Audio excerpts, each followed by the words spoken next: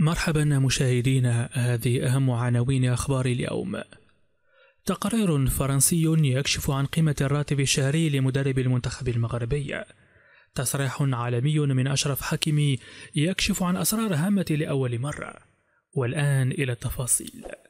لكن من قبل ما تنساش تدير جام الفيديو تشترك في القناة وتفعل زر الجرس باش توصلك أنت الأول آخر الأخبار.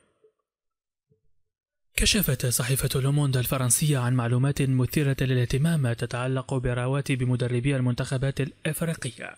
مسلطة الضوء بشكل خاص على المدرب المغربي الموهوب والد راكراكي فوفقا للتقرير الذي نشرته الصحيفة يتقاضى راكراكي الذي يقود المنتخب المغربي راتبا شهريا يبلغ سبعين ألف يورو أي ما يعادل تقريبا سبعمائة ألف درهم مغربي.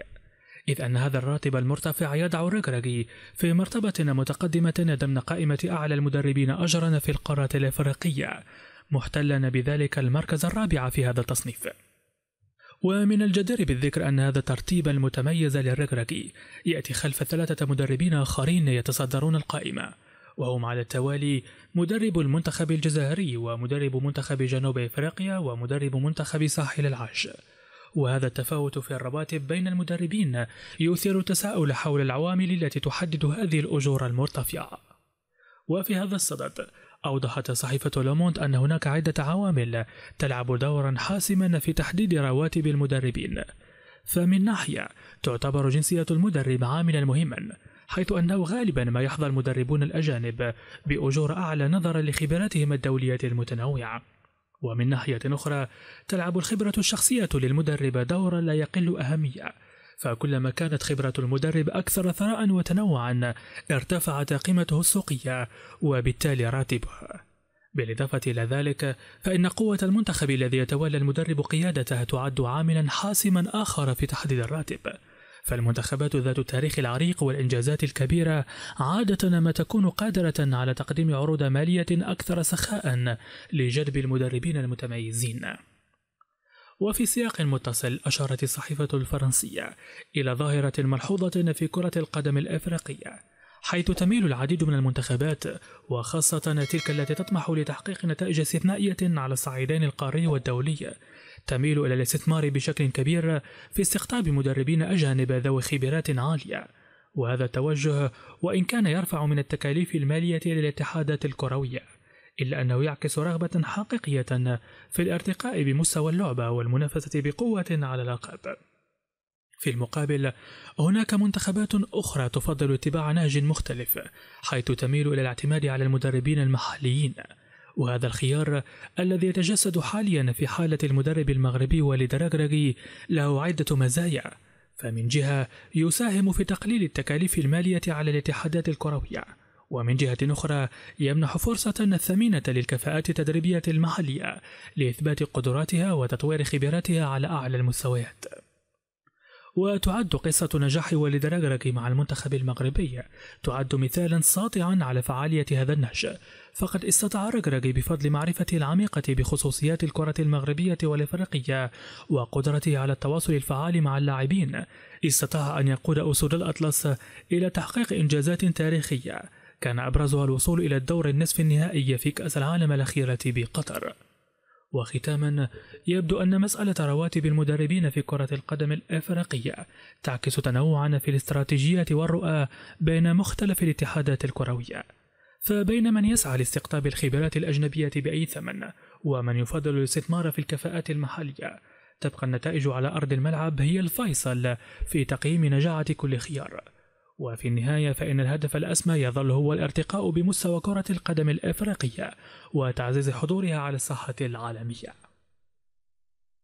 كشف النجم المغربي أشرف حكيمي عن علاقته المميزة بالأسطورة الأرجنتينية ليونيل ميسي، وكيف ساهمت هذه العلاقة في تطوير مهاراته الكروية، خاصة في مجال تنفيذ الضربات الثابتة. ففي تصريحات إعلامية لافتة فتح حكيمي نافذة على عالمه الخاص مسلطا الضوء على فترة زمالته مع ميسي في صفوف نادي باريس سان جيرمان الفرنسي. وقد أشار اللاعب المغربي الموهوب إلى الدور الكبير الذي لعبه ميسي في تحسين أدائه في تنفيذ ضربات الأخطاء الثابتة. وهي مهارة تعتبر من أصعب وأدق المهارات في عالم كرة القدم. وفي هذا السياق صرح حاكيمي قائلا بالتأكيد كنت أتمرن على ضربات الخطأ لكنني استفدت كثيرا من ليونيل ميسي وأضاف واضحا كنت أراقبه بدقة أثناء تنفيذ ضربات الخطأ في التدريبات وكان يتكرم علي بمشاركة بعض التقنيات الخاصة به كما كان يمنحني الوقت الكافي لأتعلم وأستوعب هذه المهارات الدقيقة. وما يثير الإعجاب حقا هو السرعة التي تمكن بها حكيمي من ترجمة هذه الدروس القيمة إلى واقع ملموس على أرض الملعب فبعد شهرين فقط من تلك التدريبات المكثفة مع ميسي. نجح النجم المغربي في تسجيل هدف رائع من ضربة خطأ مباشرة خلال منافسات كأس إفريقيا للأمم 2022 وفي لفتة تعكس مدى التقدير والاحترام المتبادل بين اللاعبين كشف حكيمي أن ميسي بادر بإرسال رسالة تهنئة له عبر تطبيق واتساب فور تسجيله لهذا الهدف. إذ يبرز هذا الموقف ليس فقط الروح الرياضية العالية التي يتمتع بها ميسي بل أيضا العلاقة الودية القوية التي نشأت بين اللاعبين خلال فترة تواجدهم في باريس سان جيرمان ولم يتوقف حكيمي عند هذا الحد في الحديث عن ميسي بل أسهب في وصف شخصية النجم الأرجنتيني وتأثيره عليها فقد أكد اللاعب المغربي قائلا كان من الضروري أن أستغل فرصة وجوده بجانبي فميسي هو فرصة لا تتكرر كثيرا. وأضاف بنبرة مليئة بالإعجاب والتقدير. إنه مثل كتاب يحتوي على كل ما يتعلق بكرة القدم. ولقد تعلمت منه درسا مهما حول ضربة الخطأ ومما يزيد من قيمة هذه العلاقة المهنية والشخصية بين حكيمي وميسي هو الطابع الإنساني الذي يميزها. فقد وصف حكيمي زميله السابق بأنه شخص رائع ومتواضع. مؤكدا أنه كان له الشرف أن يلعب بجانب أفضل لاعب في العالم. إذ تعكس هذه الكلمات ليس فقط الاحترام المهني الكبير بل أيضا التقدير الشخصي العميق الذي يكنه حكيمي لميسي. وتقدم هذه القصة الملهمة بين حكيمي وميسي تقدم درسا قيما في أهمية التعلم المستمر والاستفادة من خبرات الآخرين حتى بالنسبة للاعبين المحترفين على أعلى المستويات. فهي تبرز كيف يمكن للتعاون والتبادل المعرفي بين اللاعبين أن يساهم في تطوير مهاراتهم وتحسين أدائهم على أرض الملعب. كما أنها تسلط الضوء على الجانب الإنساني في عالم كرة القدم حيث تتجاوز العلاقات بين اللاعبين مجرد الزمالة المهنية لتصل إلى مستوى الصداقة والدعم المتبادل. وفي النهاية تبقى هذه القصة شهادة حية على أن كرة القدم ليست مجرد رياضة بل هي مدرسة للحياة يتعلم فيها اللاعبون دروسا قيمة في التواضع والعطاء والتعاون.